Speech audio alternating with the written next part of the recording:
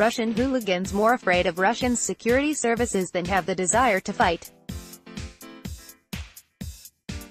England captain and Spurs striker Harry Kane is hoping to fire his country to glory Russia's hooligan football fans have been given a clear signal by the security services not to cause trouble at the World Cup, according to experts. Fears of a repeat of the violence between England and Russia fans in Marseille. Do you have an interesting news story? Contact the news desk on 0203-119-3303 or alternatively get in touch via the contact form.